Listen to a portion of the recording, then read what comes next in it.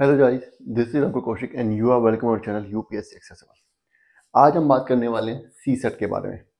One of the most important and one of the most ignored topics ठीक है? सबसे ज़्यादा इग्नोर हम इसी को कर देते हैं कई बार। सबसे ज़्यादा इंपॉर्टेंट भी यही है, क्योंकि अगर आपने ये क्वालिफाई नहीं किया तो आपका प्रिलिम्स बेकार चला गया आपका पूरा साल चला गया। लोगों को सबसे बड़ी बात पता है क्या? One of the most confuse topic भी है। सबसे ज़्यादा कन्फ्यूज़न भी इसी टॉपिक में है। क्या होता है? मान लीजिए हिस्ट्री है। हिस्ट्री मैंने आपको बताया कि ये बुक पढ़ लीजिए। ठीक है? हिस्ट्री में मैंने बताया ये बुक पढ़ लीजिए, इतने क्वेश्चन आते हैं। आप पढ़ लेंगे, सबको वही पढ़ना है, सबको वही चार, दो, तीन किताबें पढ़नी है, उससे हो जाएगा। कुछ लोग होते हैं, ज़्यादा पढ़ लेते हैं किताब को कोई एक किताब कम पढ़ लेते हैं। इसमें तो पता ही नहीं कि आपको कितना पढ़ना है। कोई इंसान एक साल तक तैयारी कर रहा है, तब भी फिर सी सेट में फेल हो रहा है।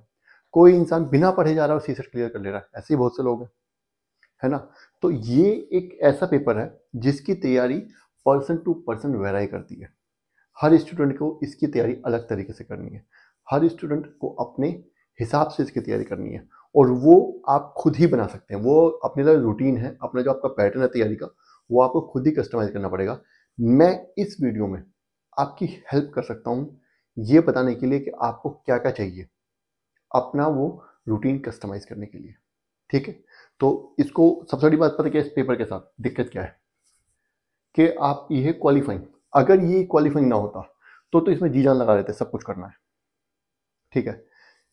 इसमें क्या होता है बच्चों को लगता है कि हम जो मेहनत कर रहे हैं, वो हमारी वेस्ट जा रही है। हमारी क्या कर रही है? हमारी वेस्ट हो रही है। तो उस चक्कर में क्या है, वो उतना भी स्कोर नहीं कर पा रहे कि जितना क्वालिफाई करने के लिए चाहिए। कुछ बच्चे ऐसे हैं जो इसमें बहुत ज़्यादा टाइम इन्वेस्ट कर रहे हैं। इन्वेस्ट नहीं कहूँगा वेस्ट कर रहे हैं। कि उनका ऑलरेडी स्कोर आ रहा है कि हाँ अस्सी, नब्बे, सौ का स्कोर आ रहा है या उससे ज़्यादा आ रहा है। उसके बाद भी प्रैक्टिस करने में लगे हुए हैं नए नए टॉपिक्स पढ़ने में लगे हुए हैं सी सेट के ऊपर उनको डर इतना लगा हुआ है। सबसे ज़्यादा डराता यही टॉपिक है। सबसे ज़्यादा इसमें डरा हुआ है। जीएस में आप कितना भी अच्छा कर लीजिए, इसमें अच्छा नहीं किया, इसमें अगर क्वालिफाई नहीं है तो नैया पार नहीं होगी आपकी, ठीक है? तो सबसे ज़्यादा डर भी इसी में होता है। डर के कारण भी कई लोग क्या कहते हैं कि जीएस को का टाइम को सेक्रीफाइस करके सी सेट को दे देते हैं और फिर उनका जीएस में स्कोर कम हो जाता है। ठीक है? और कुछ लोग तो ऐसे हैं कि वो इसको बिल्कुल ही निगलेक्ट कर देते हैं। तो यहाँ पे क्या करना है? यहाँ पे आपको बैलेंस बना के चलना है। वो बैलेंस कैसे करना है वो मैं आपको बताऊँगा। सबसे पहले हम जो सिलेबस एनालाइज कर लेते हैं। बुक लिस्ट भी मैं बताऊँगा इस वीडियो में ठीक है? और आप कितने पानी में आप खुद को एसेस कैसे करना है खुद को इवेल्यूएट कैसे करना है वो भी मैं आप, आपको बताऊँगा ठीक है? पहले सिलेबस देख लेते हैं। सिलेबस पता है हमें? सी का सिलेबस है। सी के पेपर में अस्सी क्वेश्चन आते हैं। सबको पता होगा ठीक है? दो सौ नंबर का पेपर है। दो घंटे का होता है। अगर 80 क्वेश्चन आ रहे हैं और 200 नंबर का पेपर है तो एक क्वेश्चन कितने मार्क्स का हुआ? ढाई नंबर का 2.5 मार्क्स का। ये बात हमें सबको पता है। अब क्या करें ये क्वालिफाइंग पेपर है तो इसका मतलब हमें इसमें 33 परसेंट मार्क्स चाहिए। 33 परसेंट मार्क्स का मतलब हमें 66 मार्क्स चाहिए आउट ऑफ़ 200 इसका मतलब हमें नेट में 27 क्वेश्चन सही करने हैं आउट ऑफ़ 80 ध्यान रखो 80 क्वेश्चन आते हैं, आपको किस सिर्फ़ सत्ताईस करने हैं। और कभी कभी मैं बताता हूँ किसी किसी साल पेपर इतना टफ आता है कि सत्ताईस करने भी भारी पड़ जाते हैं। ठीक है? खास तौर से जब आपने तैयारी ढंग से ना की हो। ठीक है? इसीलिए, इसलिए लोग ज़्यादा बहुत कभी कभी क्या होता है कि इसमें टाइम वेस्ट करने लगते हैं, बहुत ज़्यादा तैयारी करने लगते हैं, क्योंकि वो सी सेट में फेल हो चुके होते हैं या वो डर उन्हें किसी ने डर रखा होता है कि आप सी सेट में फेल हो जाओगे या हो जा, या हो तो हो जाते हैं लोग। तो वो क्या करते हैं अपने आप, वो बहुत ज़्यादा इसमें टाइम इन्वेस्ट करने लगते हैं, जिसकी वजह से उनका जीएस जो है वीक रह जाता है। जीएस वन पेपर जो है वीक रह जाता है। ठीक है? तो सबसे पहले क्या बोलते हैं? इसमें होते हैं तीन सेक्शंस तीन सेक्शन होते हैं। इंग्लिश रीजनिंग और मैथ्स जिसको हम क्वांट भी बोल देते हैं। ठीक है मैथ्स को। इंग्लिश में जो है मेजरली क्यों इंग्लिश में ज़्यादा कुछ नहीं चाहिए। इंग्लिश में जो चाहिए टेंथ लेवल तक की ग्रामर चाहिए। ठीक है? कम्युनिकेशन स्किल्स आनी चाहिए। कम्युनिकेशन स्किल आपको तब आएँगे जब आपको रीडिंग स्किल्स आती होंगी। और रीडिंग स्किल्स के लिए ज़रूरी क्या है? वो कैबुलरी तो बेसिकली घूम फिर के बात कहाँ आ जाती है? कि न्यूज़पेपर पढ़ो। आप मैगजीन पढ़ रहे हैं, बहुत अच्छी बात है, कोई दिक्कत नहीं है। बुक्स पढ़ रहे हैं, कोई दिक्कत नहीं है। जब तक आप एन e नहीं पढ़ेंगे, जब तक आप न्यूज़पेपर मेजरली नहीं पढ़ेंगे मेनली तब तक आपके अंदर रीडिंग स्किल्स उतनी अच्छी डेवलप नहीं हो पाएँगी। और कभी कभी तो इसमें जो पैसेज आते हैं इंग्लिश में, वो कभी कभी किसी ना किसी न्यूज़पेपर से ही रिली होते हैं रिलेटेड होते हैं। उनको समझने के लिए वो बच्चे अच्छे से कर पाते हैं जो न्यूज़पेपर डेली पढ़ते हैं या एडिटोरियल वगैरह पढ़ते रहते हैं। सिलेबस में क्या क्या इंग्लिश के कॉम्प्रीहेंशन है interpersonal skills and driving conclusion है वेरियस टाइप्स ऑफ़ पैसेजेस आते हैं। रीडिंग स्किल्स है पैसेज मैसेज और पैसेज मीनिंग आता है। ये सब चीज़ें इंग्लिश का सिलेबस है। बेसिकली आपको सिलेबस को इंग्लिश में आपको सिलेबस को बहुत ज़्यादा ब्रेक डाउन नहीं करना है। आपको बेसिकली क्या करना है, आपको कोई भी ग्रामर की बुक उठानी है, बताऊँगा अभी, कोई कौन सी उठानी है, ना उठानी है ठीक है? और थोड़ा सा अपनी वोकेप पे ध्यान देना। है जब वोकेप पे ध्यान देंगे तो आपको अपनी, आपकी रीडिंग स्किल्स भी अपने आप अच्छी हो जाएगी। और पढ़ना तो आपको पड़ेगा ही, लेकिन ये ही नहीं है कि सिर्फ़ लक्ष्मीकांत या कोई गाइड बुक वगैरह जो है उनको पढ़ने से आपकी रीडिंग स्किल्स अच्छी हो जाएँगी। उसके लिए आपको न्यूज़पेपर पढ़ना पड़ेगा। ठीक है? भले ही आप अपना करंट का मेजर सोर्स हो, किसी मैगजीन को रखें, मैं उसको मना नहीं कर रहा आपका रखते रख दो, लेकिन साइड में न्यूज़पेपर पढ़ लो वो क्या बढ़ाने के लिए ही पढ़ लो, ठीक है? रीडिंग स्किल्स बढ़ाने के लिए ही पढ़ लो, लेकिन पढ़ते रहो। दूसरा अब आ जाते हैं रीजनिंग पे। लॉजिकल और एनालिटिकल दोनों टाइप की रीजनिंग आती है। ठीक है? सिलेबस क्या क्या है इसका? अल्फ़ाबेट टेस्ट सीरीज़ डायरेक्शन भी बहुत ज़्यादा पूछ देता है। कोडिंग एंड डिकोडिंग तो आती ही है। सिटिंग पैटर्न सिटिंग या सिटिंग अरेंजमेंट जिसको बोल देते हैं पजल वाले क्वेश्चन होते हैं, इस तरह के क्वेश्चन भी आ जाते हैं। सिलोगिज्म बहुत इंपॉर्टेंट है। Cubes and dice related question भी आ जाते हैं। ठीक है? तो अगर आपका रीजनिंग में हाथ ठीक ठाक है मतलब आप बीटेक बैकग्राउंड से इंजीनियरिंग बैकग्राउंड से हैं, या आपने टेंथ इलेवंथ में, या टेंथ तक भी आपने मैथ्स पढ़ी हो तो आपकी रीजनिंग वगैरह मैथ्स वगैरह अच्छी रही है। कुछ लोगों का होता है नेचुरली उनको अच्छा होता है, ठीक है? तो उनको पर्टिकुलरली किसी बुक को जाने की ज़रूरत नहीं है, ठीक है? वो थोड़े बहुत मॉक टेस्ट वगैरह सॉल्व करेंगे पीवाई की सॉल्व करेंगे तो उसका, उनसे काम चल सकता है। या कहीं से भी क्वेश्चन उठा लीजिए रीजनिंग के, हज़ार, पंद्रह सौ क्वेश्चन सॉल्व कर दीजिए। मान लीजिए दस क्वेश्चन रोज सॉल्व करते हैं, या महीने में देख लीजिए, हर महीने हर हफ़्ते एक पचास क्वेश्चन सॉल्व कर लीजिए। इस तरह से कर लीजिए, आपका काम हो जाएगा। ये डिपेंड भी करता है कि आप तैयारी कितनी कर रहे हैं। तैयारी आप कितने टाइम के लिए कर रहे हैं। अगर आपको एक साल बाद एग्ज़ाम देना है और आपका हाथ बहुत टाइट है इसमें रीजनिंग में तो आप फिर कोई बुक ही कर लीजिए और धीरे धीरे उसको करते रहिए। मैं बिग बुक बता दूँगा कौन सी करनी है, ठीक है? अगर आपका ये कि नहीं, मुझे अगले दो तीन महीने बाद एग्ज़ाम देना है, मुझे क्वालिफाई भी करना है, ठीक है? तो फिर आप उनको मॉक टेस्ट ही उठाइए, ठीक है? अभी धीरे धीरे आने सब कुछ बताऊँगा मैं धीरे अभी सिर्फ़ सिलेबस के बारे में बता रहा हूँ, ठीक है? आ जाते हैं मैथ्स पे। क्वान्टिटिव एप्टीट्यूड हमारा। क्वांट मैथ से बहुत सारे टॉपिक्स हैं। लेकिन कुछ ऐसे टॉपिक्स हैं घूम फिर के पूछता रहता है, ठीक है? उनको अगर आप कर लेंगे तो आपका काम चल जाएगा। क्योंकि आप रीजनिंग भी करेंगे, थोड़ी बहुत इंग्लिश भी करेंगे, थोड़ा बहुत मैथ से कर लेंगे। तो अगर आप इन सभी टॉपिक्स को अच्छे से कर लेते हैं तो आपका काम चल जाएगा। बशर्ते आपने इंग्लिश और रीजनिंग में भी अच्छा किया कौन कौन से हैं? डेसिमल फ्रैक्शन हो गया। सिंप्लीफिकेशन हो गया, square roots and cube roots हो गया, एवरेज हो गया, परसेंटेज हो गया। उसके बाद हमारा आ गया रेशियो प्रोपोर्शन इंपॉर्टेंट है। ट्रेन इंपॉर्टेंट है बोट एंड स्ट्रीम भी इंपॉर्टेंट है ही। S I and C I मतलब सिंपल इंटरेस्ट और कंपाउंड इंटरेस्ट जो बचपन से पढ़ते ही आ रहे हैं। Pipes and system related question भी आते हैं। ठीक है? उसके बाद profit and loss speed and distance ठीक है? ये तो सबके फेवरेट टॉपिक होता है। आप लोगों लोग सबसे पहले यही करते हैं जब जो भी बच्चे उठाते हैं। मिक्सचर मिक्सचर एलिगेशन जो टॉपिक्स आते हैं क्लोक, कैलेंडर और एज रिलेटेड जो प्रॉब्लम्स होती हैं, ठीक है? कि मेरा भाई मेरे पापा से इतने साल छोटा है, इतने, वो उससे इतने साल बड़ा है तो मेरी एज कितनी होगी? इस तरीके के क्वेश्चन जो होते हैं, ठीक? तो वो क्वेश्चन भी आते ही हैं। इसमें एक टॉपिक है जो आता है लास्ट में, मैं बता रहा हूँ लास्ट में बता रहा हूँ, वो आता है हमारा डेटा इंटरप्रिटेशन डी आई जिसको हम बोलते हैं। ये जो है, ये टॉपिक में एक खास बात है। खास बात ये है कि इसके क्वेश्चन हैं। ट्रिकी लेकिन एक बार इनको क्वेश्चन को आप करना सीख लें तो ये काफ़ी आपको आसान तो लगने लगते ही हैं ट्रिक आने के बाद। इसकी, इसमें आपको एक फ़ायदा और है। इसमें आपको फ़ायदा ये है कि इसमें क्या होगा आपको एक डेटा का चार्ट आएगा डेटा चार्ट वगैरह कुछ आएगा, और उस चार्ट के बेसिस पर आपको चार या पाँच या तीन क्वेश्चन दिए होंगे सोल्व करने के लिए।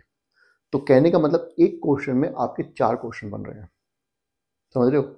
तो एक टॉपिक से आपके चार क्वेश्चन बन रहे हैं। मतलब अगर इसमें आप मेहनत कर लें अच्छे से तो पासिंग मार्क्स कितना है? पासिंग होने के लिए आपके सत्ताईस नेट में क्वेश्चन चाहिए। सत्ताईस में से चार तो यही दे देगा आपको। अगर आपने सही से कर लिया तो है ना? तो इसको मत छोड़िएगा, इसको अच्छे से करिए। कुछ लोग क्या करते हैं, इसको छोड़ देते हैं। नहीं, इसको मत छोड़िए। इसको ऐसा करिए कि अगर चार क्वेश्चन आते हैं, चार में से चार सही हो।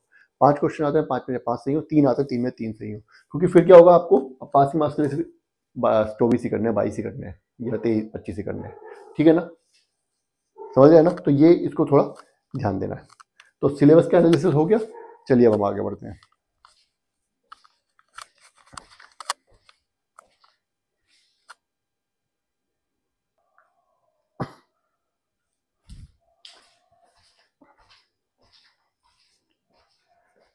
देखो, अब हमने सिलेबस की बात तो कर ली, लेकिन सिलेबस की बात करने के बाद सीसेट एग्ज़ाम के लिए कुछ टिप्स होती हैं, कुछ बातें हैं जो आपको ज़रूर अपने जहन में रखनी है, दिमाग में रखनी है और वो बातें दिमाग में रखने के साथ साथ ही आपको तैयारी करनी है।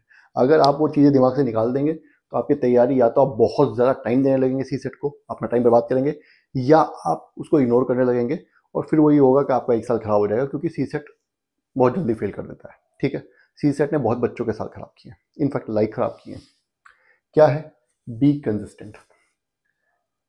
आप चाहे हफ़्ते में एक बार, एक एक टेस्ट पेपर सॉल्व करें, या दो करें, ठीक है? वो आपकी मर्ज़ी है।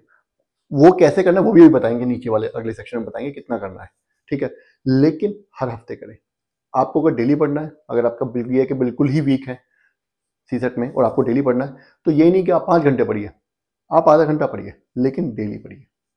Consistency is the key C set में। छोड़ दिया तो फिर छूट ही जाएगा फिर वो, ठीक है?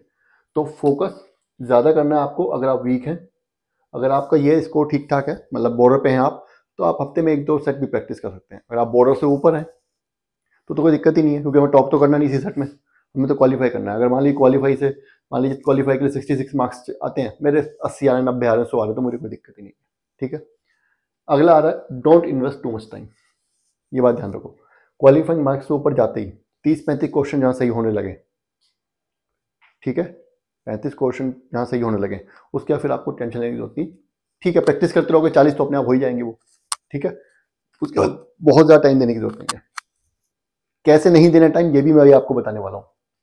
बच्चों को यही नहीं पता कि कितना टाइम देना है, कैसे नहीं देना है। वो तो एक बार लग जाते तो लग ही जाते हैं। ये भी अभी आपको बताने वाला हूँ।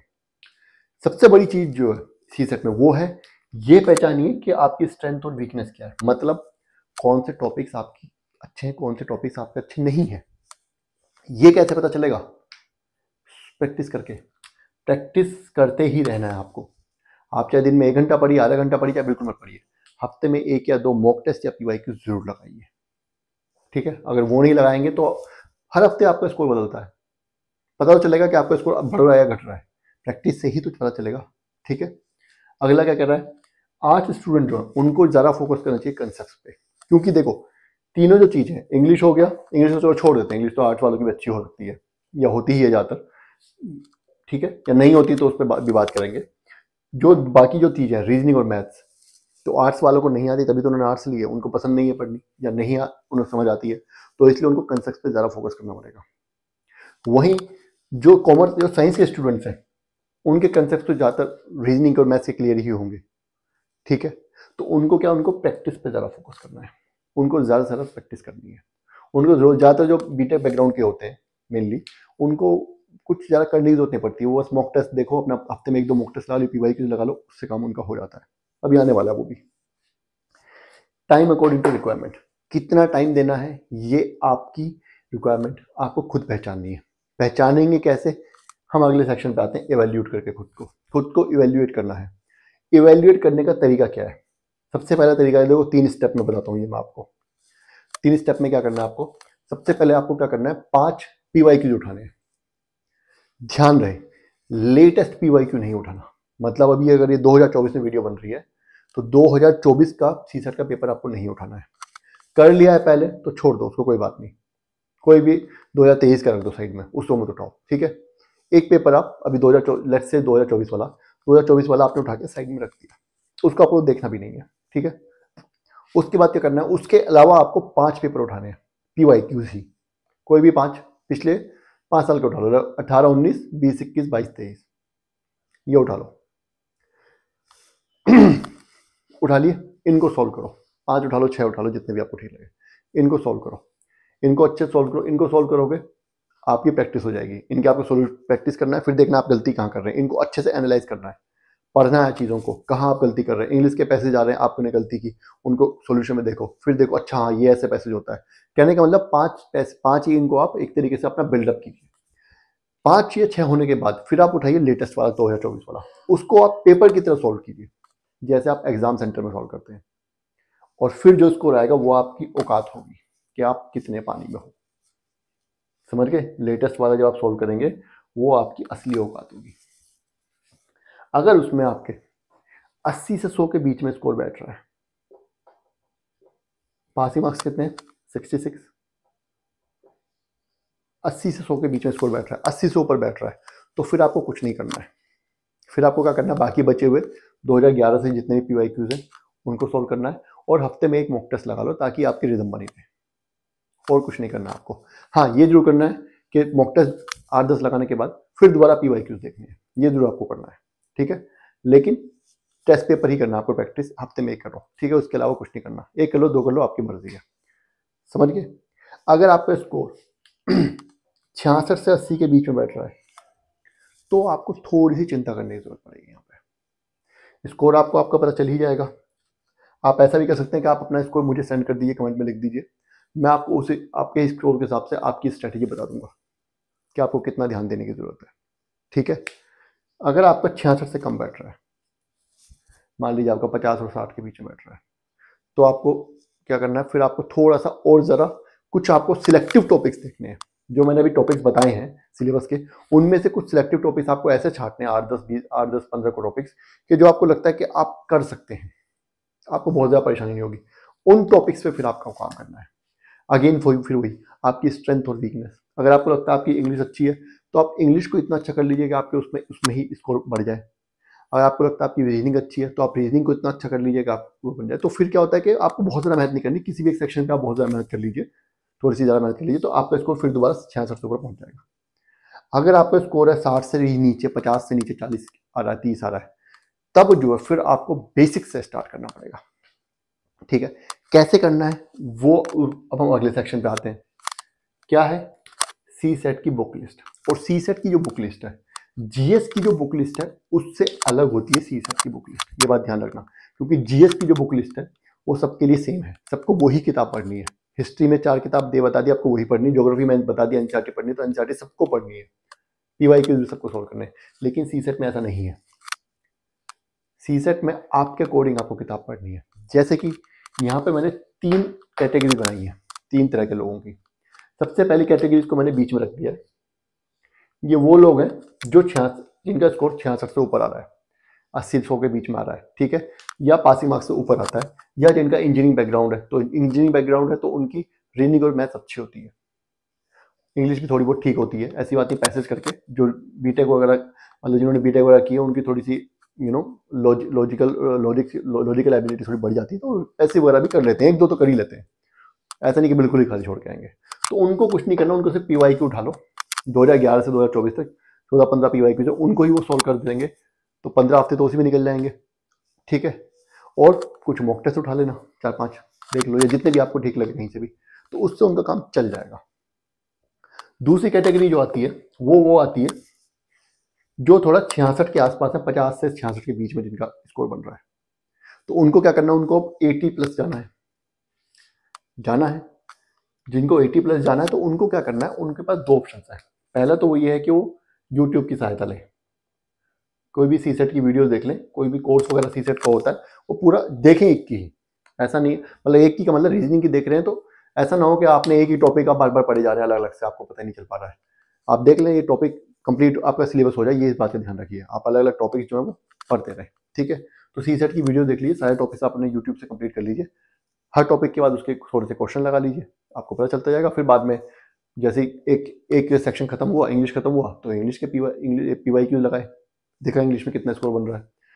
रीजनिंग खत्म हुआ, फिर पी क्यू लगाया या मॉक टेस्ट लगाया, देखा स्कोर कितना बन रहा है। इस तरीके से आप कर सकते हैं तो आपका स्कोर धीरे धीरे वही एटी से ऊपर आ जाएगा। एटी से ऊपर रहना आपको, सौ एटी सौ हंड्रेड के बीच में ही रहना है, ठीक है? एटी से ऊपर एक बार आ गया तो फिर आपको सिर्फ़ प्रैक्टिस ही करनी है। मॉक टेस्ट ही लगाइए, चाहे हफ़्ते में एक लगाइए, डर लग रहा है, दो लगा लीजिए, तीन लगा लीजिए, ठीक है? लेकिन फिर आपको बुक वगैरह पे जाने की ज़रूरत नहीं है। या अगर आप वीडियोस पे नहीं जाना चाहते तो एक किताब आती है अरिहन की बुक फॉर सी सेट आती है। इसकी खास बात यह है कि इसमें पी वाई क्यूज भी दिए हुए हैं और मॉक टेस्ट भी दिए हुए हैं। तो इस बुक को आप कर सकते हैं अगर आप वीडियोस नहीं करनी है आपको तो। इस बुक को भी आप फॉलो कर सकते हैं, इसको आप फॉलो कीजिएगा। या कोई भी और जो बुक आपको अच्छी लगती है, किसी ने रिकमेंड की हुई या पहले से कर रहे हो तो उसको भी कर सकते हैं। कहने का मतलब कोई एक बुक जो सी सेट के लिए कोई आती है, उसको फॉलो कर लीजिए, आपका सी सेट काम उससे हो जाएगा। ठीक है? अगर आपका स्कोर जो पचास, साठ के आसपास बैठ रहा है तो। ठीक है? तो दो कैटेगरीज हो गई। एक वो है जो उनको, जिनका सब कुछ है, उनको सिर्फ़ प्रैक्टिस करनी है। दूसरे जिनको थोड़ा खतरे में डाउन रोल बॉर्डर पे हैं, थोड़ा बॉर्डर से नीचे है, उनका इससे हो जाएगा। अगर आपका इससे भी नहीं हो रहा है, अगर आपका इससे भी नहीं हो रहा है आपको कुछ ऐसा लग रहा है कि नहीं, मुझे ये तो चलो हो गया, ठीक है, लेकिन इसके बाद भी मेरा स्कोर जो है सेवेंटी तक ही पहुँच पा रहा है, या सिक्सटी सिक्स पे रह रहा है, या उतना अच्छा नहीं हो पा रहा है, मुझे डर लग रहा है। तो आपको कुछ टॉपिक्स करने हैं। कि आपको लग रहा है मैं दो तीन टॉपिक्स कर लेता हूँ हर सेक्शन में? तो मैं एटी पर पहुँच जाऊँगा। या आप उस कैटेगरी के हैं कि आपको बिल्कुल ही सी सेट के बारे में बिल्कुल ही एकदम कुछ नहीं पता है, ना आपको इंग्लिश में कम्प्रीहेंशन इतने अच्छे से आता है, ना आपको रीजनिंग उतना अच्छे से आती है, ना आपको मैथ्स उतना अच्छे से आती है, या आपको डर बहुत ज़्यादा लग रहा है तो फिर आपको बेसिक्स के लिए फॉलो करना है। आपको बेसिक्स से स्टार्ट करना है। बेसिक्स से क्या करना है आपको? आर एस अग्रवाल की बुक आती है क्वांट के लिए भी और रीजनिंग के लिए भी, इसको आप देख सकते हो अलग अलग टॉपिक्स के लिए, या जैसे भी आपको ठीक लगे, ठीक है? अगर आपको बिल्कुल एकदम बेसिक्स से करना है तो। आपको बहुत ही ज़्यादा है आपका स्कोर बहुत कम बन रहा है, ठीक है? क्योंकि नेगेटिव मार्किंग है तो एक तो स्कोर कम होता है, ऊपर से जो गलत होते हैं वो और ज़्यादा कम कर देते हैं, है ना? तो बहुत ही ज़्यादा अगर बिल्कुल डामाडोल है तो आर एस अग्रवाल की बुक आती है क्वांटो रीजनिंग के लिए। अच्छे से एक्सप्लेन किया हुआ है, बहुत ही सिंप्लीफाइड तरीके में एक्सप्लेन किया हुआ है, ठीक है? थोड़ी मोटी ज़रूरत टाइम जो लगेगा, लेकिन अगेन वही जो मैंने आपको टॉपिक्स बताया बेस्ट में वो कर लीजिए। रीजनिंग के जो टॉपिक्स बताया वो कर लीजिए इंग्लिश का तो खैर कर ही लेंगे, ठीक है? बताऊँगा अभी क्या करना है, ठीक है? तो ये दोनों बुक्स अगर आप कर लेंगे यही एस अग्रवाल की बुक कर लीजिए। इनसे आप टॉपिक्स अपने कर लीजिए तो आपका बेसिक्स के हो जाएगा। फिर दोबारा अगेन आपको, आपका स्कोर बढ़ेगा तो फिर दोबारा आप इस कैटेगरी में आ जाएँगे, छियासठ वाली में। तो फिर आपको यही पी वाई क्यूज उठाने हैं या मोक टेस्ट उठाने हैं। ठीक है? वही प्रैक्टिस करने हैं। उन्हीं से काम आपका होता जाएगा। थोड़ा ज़्यादा कर लीजिए। स्टार्टिंग में ऐसा कीजिए कि हफ़्ते में दो तीन कर लीजिए। फिर धीरे धीरे कम कर दीजिए बाद में। फिर जब एग्ज़ाम आएगा एग्ज़ाम से एक महीना पहले फिर दोबारा बढ़ा दीजिएगा। एग्ज़ाम से एक महीना पहले पी वाई क्यूज तो सारे करने ही है प्रैक्टिस दोबारा से। और बाकी मोक टेस्ट भी कुछ कर सकते हैं। ठीक है? उसके बाद फिर हम आ जाते हैं इंग्लिश पे अब जब इंग्लिश जो है इंग्लिश लैंग्वेज है। इंग्लिश में आपको ऐसे कोई कथा नहीं लिखनी है। ठीक है? तो सबसे बड़ी बात है लैंग्वेज का सबसे अच्छा तरीका क्या करने का? कि प्रैक्टिस कीजिए। प्रैक्टिस कैसे करेंगे आप? प्रैक्टिस के लिए आपको न्यूज़पेपर पढ़ना पड़ेगा अपनी रीडिंग स्किल्स अच्छी करने के लिए। ठीक है? रीडिंग स्किल्स जब तक अच्छी नहीं होगी तब तक कुछ नहीं हो सकता। आपको पता ही चलेगा पैसेज में क्या लिखा हुआ है। ठीक है? क्योंकि रीडिंग का मतलब सिर्फ़ बोल बोल के पढ़ना नहीं है, उसको समझना भी है। तो जब आप रीडिंग स्किल्स अच्छी होंगी, उसके लिए आपको न्यूज़पेपर पढ़ना ही पड़ेगा मेरे हिसाब से न्यूज़पेपर पढ़ेंगे तो कुछ वर्ड्स ऐसे आएँगे जो आपको समझ नहीं आ रहे। तो आपकी वोकेबुलरी भी स्ट्रंग होगी। तो वोकेबुलरी के लिए या तो आप एक काम कीजिए, तुरंत अपना जो भी आपको मान लीजिए पैसेज पढ़ रहे हैं, आप कोई दिक्कत आई, कोई वर्ड आया, नहीं समझ आ रहा फ़ोन उठाया सर्च कर लिया, वहीं पे लिख लिया। या कहीं भी लिख लिया आपने उसमें वो कर सकते हैं। या आप डिक्शनरी रख सकते हैं। अगर आप फ़ोन को या कुछ लोग ऐसे होते हैं जो फ़ोन साइलेंट पे लगा दिया, एक दो घंटे के लिए पढ़ने बैठे, फिर उठाते हैं फ़ोन तो आप डिक्शनरी भी रख सकते हैं। कोई बड़ी बात नहीं है। दूसरी बात क्या होती है, फिर तीसरी चीज़ आती है। अब यहाँ पे, चलो ठीक है न्यूज़पेपर पढ़ रहे हैं वोकेबलरी भी हो गई, लेकिन चीज़ों को समझने के लिए थोड़ा ग्रामर चाहिए होती है। कुछ क्वेश्चन ऐसे होते हैं जो आपको बिना ग्रामर के हो ही नहीं पाएँगे उसमें, आपको पैसेज में। है ना? उसके लिए ग्रामर की ज़रूरत पड़ेगी। तो ग्रामर के लिए आपको कोई भी टेंथ लेवल की बुक पढ़ लीजिए। बहुत ज़्यादा स्ट्रेस नहीं करना है, कोई भी टेंथ लेवल की बुक पढ़ लीजिए ग्रामर के लिए। ठीक है? उसमें एक रन एंड मार्टिंग आती है हाई स्कूल वाली, वो भी आप देख सकते हैं, आप चाहें तो। वो भी अच्छी बुक है। नहीं तो आईसीएससी की टेंथ की ग्रामर की बुक भी देख सकते हैं। वो भी अच्छी किताब है। बाकी कोई और भी टेंथ लेवल की आपको लगता है, अच्छी है या आप पहले से पढ़ रहे हैं तो उसको भी देख सकते हैं।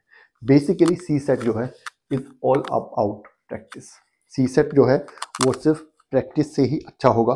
प्रैक्टिस नहीं करेंगे तो कुछ भी कर लीजिए, कुछ नहीं होने वाला। अगर आपसे प्रैक्टिस ही करते जा रहे हैं तो भी आपका काम चल जाएगा। बगैर आप में कॉन्फिडेंस अपने आप आता रहेगा। आप करके देखिए, हर हफ़्ते दो टेस्ट लगाइए। अगर आपके पास है आपको दो पच्चीस का देना है। अब एक काम कीजिए, अभी तो टाइम है। आप आज से लगाना स्टार्ट कर दीजिए। अभी नवंबर चल रहा है मिड नवंबर है। एक महीने तक ऐसे कीजिए, आप डेली प्रैक्टिस सेट लगाइए। अगर आपको फ़ायदा लगा, दस पाँच प्रैक्टिस सेट लगा के तो ठीक है। नहीं तो फिर आप ये बुक्स वाला पे आपको जाना ही पड़ेगा आपको। अब उसमें आपको पूरी बुक पढ़नी है, या कुछ टॉपिक करके आपका काम हो जाएगा, वो तो आपका स्कोर पे डिपेंड करता है, आपका स्कोर कितना बैठ रहा है। पाँच छः टेस्ट लगाने के बाद, ठीक है? तो टेस्ट तो लगाने पड़ेंगे। सबसे बड़ी इंपॉर्टेंट चीज़ जो यहाँ पे जो हम भूल जाते हैं, एक चीज़ आपको ध्यान रखनी है कि दिस पेपर इज़ क्वालिफाइंग आपको ये पेपर टॉप नहीं करना है। 80 टू 100 80 पे पहुँच गए, इतना ही मेंटेन करके रखिए। नब्बे सौ अस्सी से सौ के बीच का स्कोर ही आपको मेंटेन करके रखना है।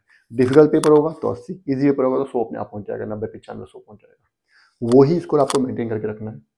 ज़्यादा आपको डर लगता है तो ये करिए कि काम कीजिए, आप सो ही रखिए, सो का मान के चलिए फिफ्टी परसेंट का। उससे ज़्यादा आपको करने की ज़रूरत नहीं है। आप ये नहीं कि आपको ऑलरेडी सो आ रहा है कि नहीं, मैं तो और टॉपिक टॉपिक कर लेता हूँ, चार टॉपिक कर लेता हूँ, एक सौ बीस, एक सौ चालीस करता हूँ। टाइम वेस्ट होगा, कोई फ़ायदा नहीं होने वाला उससे, ठीक है? तो क्वालिफाइंग पेपर है थर्टी थ्री परसेंट मार्क्स है। अस्सी से सौ का स्कोर आपको रखना है, ठीक है? वो आपका सिर्फ़ प्रैक्टिस सेट सोल्व करके हो जा रहा है तो आप कर लीजिए। सिर्फ़ पी वाई क्यू सोल्व करके हो जा रहा है तो कोई बहुत अच्छी बात है। अगर नहीं हो रहा है तो फिर आप कुछ बुक वगैरह से कर सकते हैं, ये आपके ऊपर डिपेंड करता है। कैसे आपको स्ट्रेटजी बनानी, ये मैंने आपको बता दिया। अब भी आपको लगता है कि कुछ दिक्कत आ सकती है या कोई प्रॉब्लम आपको लग रही है, कुछ क्वेश्चन है आपकी करिए तो कमेंट कर दीजिएगा, मैं बता दूँगा या वीडियो ही बना दूँगा उस टॉपिक के ऊपर, कोई बड़ी बात नहीं है, ठीक है? तो ठीक है, और बाकी वीडियो को लाइक करना है और चैनल को सब्सक्राइब करना है। Thank you